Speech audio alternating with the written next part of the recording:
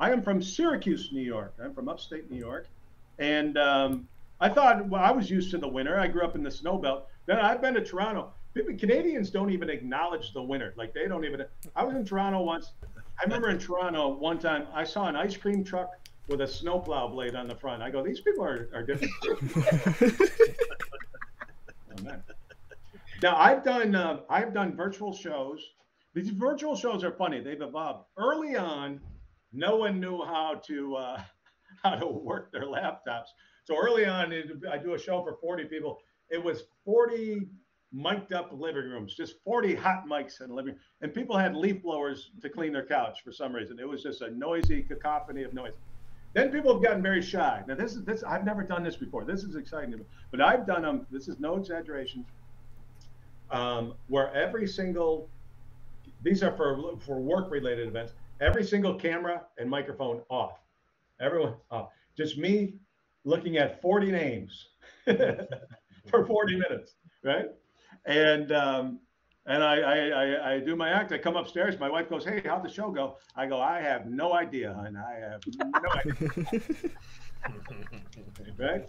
But then I, I, you know, I, empathize with people because a lot of people are on camera all day. So now I've done those shows again with uh, just me looking at 40 names. And uh, I tell them, I go, hey, I know you, you guys are on camera. Did you take a little break? You're probably watching Ted Lasso. You know, hey, I'm watching a great documentary on meerkats right now. We're all multitasking. But I've decided now when I do those shows, um, my wife goes, How'd the show go? I get to decide. You know, when you do a show like this, everyone knows how I do a live show, everyone knows how the show's going. But if there's no feedback, it's up to me to decide. So now I tell my wife, I go, Hun, I was on fire up there. I was on fire. In fact, there were 40 devices. One guy named Ronnie, he logged in on his iPhone. I think he was at Home Depot, but didn't want to miss any of the show. That's how that's that's like the a virtual standing ovation when you add devices. So that's where we are. I'm a married man. Thumbs up. Do we have married folks here? Do we have married folks here? There we go. Okay. Well, I did it all late. Didn't get married till I was 45 years old. And I'm glad I waited because, you know, um, young people, young people, when you're young, you, you over, you, you put too much emphasis on looks. The young people just are concerned with looks. But as you mature as a person, you you look for a soulmate with money. And that's what So uh, the biggest difference between me and my wife is uh, she is a foodie. My wife is real into restaurants and uh, talking about food all the time. Now, meanwhile, I'm from a big family. I, I big families. You're not. I'm. I have uh, six siblings. You know. So growing up, we didn't care about the uh, quality of the food. We were more concerned with the quantity. I go, all right, we're having spaghetti. Is there enough for everybody? do I have to shove my brothers out of the way? What's going on here? But my wife is an only child, big foodie and then she married me. I just eat pizza. If I was left to my own, I eat pizza every night. And my wife is always surprised. She goes, What do you want for dinner? I go, Pizza. So my wife, once in a while, she'll really press me. She go, All right, dinner is, is your call, and it can't be pizza. I go, Okay. I take the challenge. I go, Hey, let's get some Thai food. Here's my wife. No, I, I can't have Thai food today. I had Thai food yesterday. I go, Well, people in Thailand handle that pretty well. now the food inside the house is getting more exotic, and I'll give my wife a lot of credit. Everything's organic in our house. We have organic peanut butter. Hey, give us a thumbs up. Give me a thumbs up if you've ever bought organic peanut butter twice. Oh, oh David came back. David came back for one stand. Oh my God, oh, Rima. Oh wow, come on. This product, this product's hideous. Can we admit that? Now, if you've never had it, our friends here, if you've never had it, you've led a blessed life. You count your blessings there. You've done.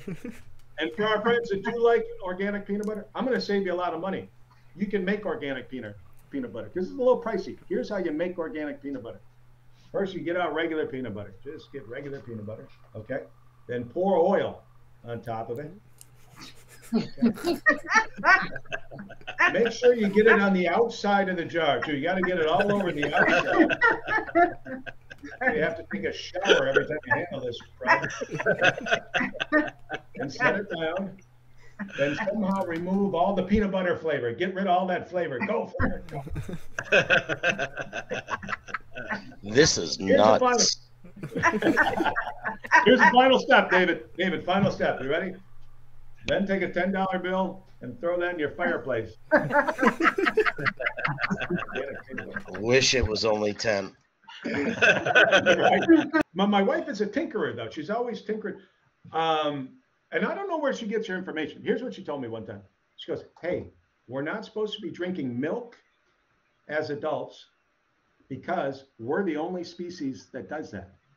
Go, we're the only species that can milk cows. That's part of the puzzle. yeah. You know, squ- squirrels and raccoons. They'd have an ice cream cone every night if it was an option. They'd have an ice cream cone, but uh, they're not disciplined. They're not focused. Thank you, man. Oh, thanks, everybody. Thank you. So, um, I don't know how to get on this, so I'm just going to walk out of my basement and leave this on forever. I think I'll just come down. I'm, I'm stuck in the virtual room right here.